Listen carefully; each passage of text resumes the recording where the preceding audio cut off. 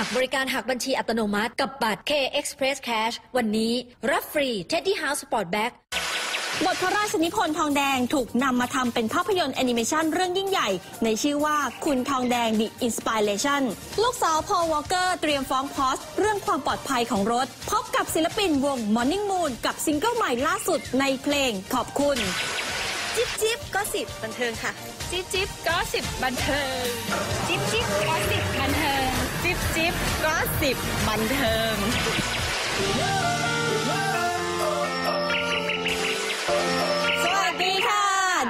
อัปเดตความบันเทิงในจิ๊บจิ๊บก็สิบบันเทิงกับเฟรมสลิตาค่ะ และหญิงสุดารัตน์ค่ะ เย่เย่ยึดรายการได้เลย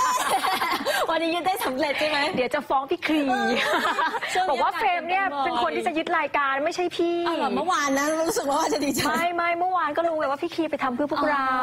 อ๋อใช่ไหมล่ะค่ะได้รออยู่นะคะพี่คีกลับมาไวเริ่มต้นกันด้วยเรื่องราวดีๆ ค่ะ ของสุนัขทรงเลี้ยงในพระบาทสมเด็จพระเจ้าอยู่หัวนะคะนั่นก็คือคุณทองแดง ค่ะ คุณทองแดงเป็น inspiration ก็คือเป็นแรงบันดาลใจให้กับภาพยนตร์แอนิเมชันเรื่องหนึ่ง ที่ตอนนี้กำลังเป็นที่กล่าวขวัญถึงค่ะ ค่ะ นั่นก็คือคุณทองแดง The Inspiration อ๋อ ได้ inspiration มาจากคุณทองแดงเลยตั้งชื่อเรื่องแบบนี้เลยใช่ไหมคะ ถูกต้องนะคะ แล้วก็ที่สำคัญที่สุดค่ะ เป็นการร่วมมือกันของสหมงคลฟิล์มค่ะและรวมถึง Air Fresh Air นะคะของคุณวินิตเลิศรัตนชัยเป็นอันอำนวยการสร้างด้วยโอ้โหและทุ่มทุนไปถึง 150 ล้านบาทเลยทีเดียวแอนิเมชัน150 ล้านนี่ถือว่าฟอร์มยักษ์มากเลยนะคะพี่หญิง เพราะว่ามากโอ้โหสูงอยู่นะ 150 ล้านเนี่ยใช่ใช่นอกจากนี้นะคะในวันแถลงข่าวค่ะ ยังมีวงนะคะสินเจริญ Brothers ค่ะนะคะที่ร้องเพลงประกอบภาพยนตร์แอนิเมชันเรื่องนี้ มาร้องให้ฟังกันด้วย อยากฟังค่ะพี่หญิงไปชมบรรยากาศกัน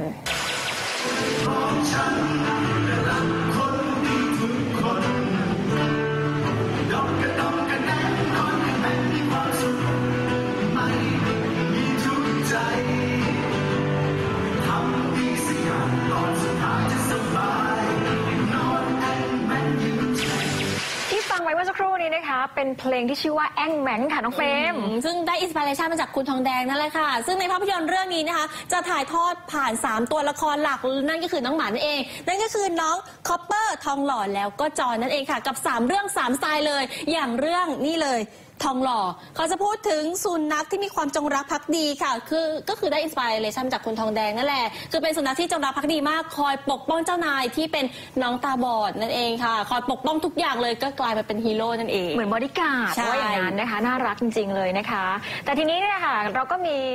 คำพูดดีค่ะๆนะคะ จากตัวคุณวินิตด้วย เดี๋ยวเราไปฟังกันดีกว่าค่ะ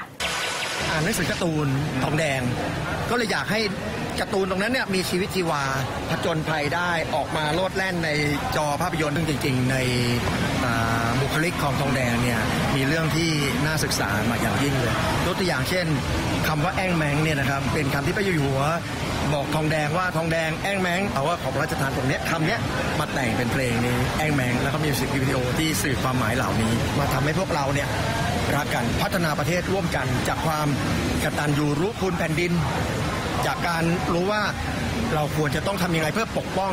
แผ่นดินไทยร่วมกัน ไปดูกันนะคะ คุณทองแดง The Inspiration ค่ะจะเข้าฉายนะคะในวันที่ 3 ธันวาคมนี้ค่ะ รวมถึงนะคะรายได้หลังจากหักค่าใช้จ่ายแล้วนะคะ มอบให้กับมูลนิธิศูนย์รักสุนัขหัวหินในพระบรมราชูปถัมภ์ด้วย ค่ะ เตรียมเงินไปดูกันได้เลยหนังดีๆ แบบนี้ควรดูค่ะ จากภาพยนตร์นะคะ เรามาถึงละครโทรทัศน์กันบ้าง พี่หญิงสังเกตไหมคะว่า ยุคสมัยเนี้ยรู้สึกว่าหนังเก่าๆสมัยรุ่นคุณแม่คุณย่าคุณปู่คุณตาคุณยายบอกว่าเฮ้ยมันกลับมาอีกแล้ว เป็นการรีเมคใหม่นะคะค่ะซึ่งตอนนี้เนี่ยเอาจริงๆนะได้ยินกระแสมาตลอดทั้งปีอ่าฮะแล้วยาวไปจนถึงปีหน้าเลยค่ะทีเดียวนะคะ อย่างที่จบไปแล้วก็มีเหมือนกันอย่างพวกมันลังก์เมฆใช่อย่างนี้นะคะแล้วก็อย่างปัจจุบันนี้ที่กำลังค่ะฉายอยู่ก็คือห้องหุ่นใช่แล้วค่ะ แล้วก็อีกหนึ่งเรื่องที่กำลังมาหนังในตำนานของอาหลองเลย อังกอร์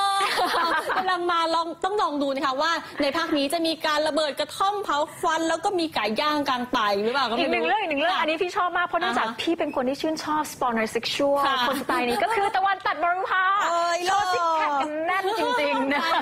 แต่ถ้าพูดถึงละครรีเมคต้องพูดถึงเรื่องนี้แน่นอน ถือฉลอง นี่คือสถานแห่งบ้านใจทองใช่ รู้ไหมคะว่าเรื่องเนี้ยทำมาหลายครั้งมากเลยนะคะ ซึ่งครั้งแรกค่ะจะฉายอยู่ที่ช่อง 4 บางขุนพรหมนั่นเองสมัยช่อง 3 แรก ๆ เลย ให้เดาต้องไม่ต่ำกว่าประมาณ 5 ครั้ง โอ้โห ไม่ต่ำแน่นอนค่ะพี่หญิง เพราะว่าครั้งนี้เป็นรอบที่ 6 แล้วค่ะ ครั้งแรกสร้างขึ้นในปี 2501 นั่นเอง ยาวนานมากเลยนะสำหรับมเรื่องนี้ากนะคะและที่สำคัญค่ะในรอบปัจจุบันนี้ค่ะนะได้รับ เอ่อนักแสดงหญิงแล้วก็นักแสดงชายอ่านนะคะไม่ว่าจะเป็นคุณมินพิชยาอ่าฮะเป็นนักแสดงนำเป็นค่ะนางเอก รวมถึงพระเอกนะคะก็คือคุณวีวิรภาพ โอ้โห สุภาพบุรุษมากเลยนะเนี่ยเจ้าชายผู้ชายจะฟังใครหลายใครโพคสนต์ใครโพสต์ อ่าส่วนเทรนด์ละครรีเมคภายในปีนี้จะอยู่ไปยาวนานขนาดไหนไปฟังเสียงพี่ต้อกันหน่อยค่ะ ก็ปัญหาก็คือว่าทุกครั้งที่ทำรีเมค มักจะถูกตำหนิจากคนดูที่เคยดูเวอร์ชันที่ดีอยู่แล้วว่า ของใหม่สู้ของเก่าไม่ได้ทำได้ดีเสมอตัวนี่ก็ถือว่ารอดแล้วล่ะ แต่ถ้าทำได้แล้วคุณภาพไม่ดี มันก็จะบ่งชี้เลยว่าแบบคนรุ่นใหม่ไม่เก่งเก่งเท่าสู้คนรุ่นเก่าไม่ได้ ทั้งแง่การผลิต ทั้งแง่การทำบท ทั้งแง่แง่การแสดง อื้อหือแต่สำหรับใครนะคะ เบื่อละครรีเมคแล้วก็อย่าลืมกดมาช่อง Now 26ของเรานะคะ มีซิทคอมน่ารักน่ารักตลกให้ดูกับนั่นุ่นนก็รักคือคนรักทั้งตัวนั่นเอง ชอบนะเรื่องนี้ค่ะพระเอกน่ารักเนอะแต่ว่าความบันเทิงยังไม่หมดเพียงเท่านั้นค่ะ ไปอัปเดตความบันเทิงกันต่อเลยค่ะ ช่วงนี้หน้าตาดูไม่ค่อยสดชื่นเลยนะคะสำหรับหนุ่มโตโน่พาคิน เจ้าตัวบอกว่าเป็นเพราะช่วงนี้ทำงานหนัก จนแทบไม่มีเวลาพักผ่อน แต่ดีใจที่เห็นแฟนคลับมาให้กำลังใจตนเสมอ ส่วนเรื่องของสาวแตงโมที่ทำอะไรอะไรก็มักจะมีชื่อของตนไปเกี่ยวข้องด้วย หนุ่มโตโน่ขอไม่พูดถึง แต่ยินดีที่จะตอบคำถามจากสื่อทุกคำถามค่ะก็ยังไม่จบที่แต่ว่ามีอะไรแล้วก็รีบถามพี่นุ่นตลอดเวลาพี่นุ่นรู้สึกยังไงบ้างตอบดีกว่าครับ ผมตอบเยอะแล้วไม่เลยพี่ไม่เลยครับ ไม่เลยครับไม่เลยครับ วันไหนพวกพี่ไม่มาถามผมสิวันนั้นน่ะผมต้องเสียใจแล้วเวลาที่พวกพี่ถามอะไรเงี้ยมันก็ไม่ได้ถามมาเพราะความเกลียดชังอะพี่ถามก็มันเป็นงานอะเราก็เข้าใจได้ครับ ตัวเราเองเราก็ทำงานเป็นเรื่องปกติครับ ดูจะไปได้ดีกับงานโปรดิวเซอร์นะคะสำหรับสาวหน้าสวยติ๊กกัญญรัตน์ที่เคยอำนวยการสร้างภาพยนตร์เรื่องตั้งวง จนได้รับรางวัลสุพรรณหงษ์สาขาภาพยนตร์ยอดเยี่ยมมาแล้ว แต่มีเรื่อง Snap ที่ได้รับเลือกไปฉายในเทศกาลโตเกียว International Film Festival ที่ประเทศญี่ปุ่น ในเดือนตุลาคมนี้ ล่าสุดสาวติ๊กกัญญรัตน์ก็ลุยงานนี้ต่อกับภาพยนตร์แนวดราม่าสยองขวัญเรื่อง Take Me Home ว่าแต่สนุกกับงานใหม่แบบนี้ แล้วเมื่อไหร่สาวติ๊กจะกลับมาเล่นละครล่ะคะ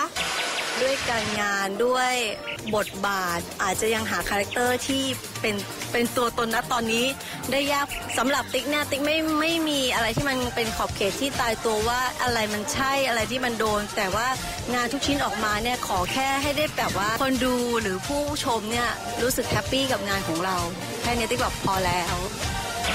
ช่วงปลายปีของทุกปี เรามีนัดกับเทศกาลดนตรีคอนเสิร์ตที่ใหญ่ที่สุดในกรุงเทพมหานครกับ Melody of Light ซึ่งในปีนี้จัดขึ้นเป็นครั้งที่ 9 แล้วค่ะ ภายใต้คอนเซปต์เก๋ๆอย่าง Power Up กับศิลปินคุณภาพมากมายกว่า 60 วง อย่างเช่น ETC Lipta Squid Animal Room 39 แตงโม The Voice ที่จะมามอบความสุขเต็มอิ่มตลอดทั้ง 2 วัน ณ ศูนย์การค้า Central World โดยงานนี้เข้าชมฟรีค่ะ คอนเสิร์ตครั้งนี้นะครับ Power Up ขยับโลกนะครับ อยากให้คนไทยกลับมามีความรอยยิ้มเหมือนเดิมนะครับ แล้วก็มีความสามัคคีกันนะครับ ก็ใช้ดนตรีนี่แหละเป็นสื่อกลางนะครับ จัดขึ้นใจกลางกรุงเทพเลยนะครับ ก็มามาดูกันง่าย ๆเลย แล้วก็ฟรีด้วยที่ฟรีด้วย จิ๊บจิ๊บทิปบันเทิง บ้านทรายทองเป็นนวนิยายแต่งโดยก.สุรางคนางค์ หรือกัณหาเคียงศิริ ถูกนำมาสร้างเป็นละคร ภาพยนตร์ และละครเวทีถึง 12 ครั้ง โดยถูกสร้างขึ้นครั้งแรกในปี 2494 ในเวอร์ชั่นของละครเวที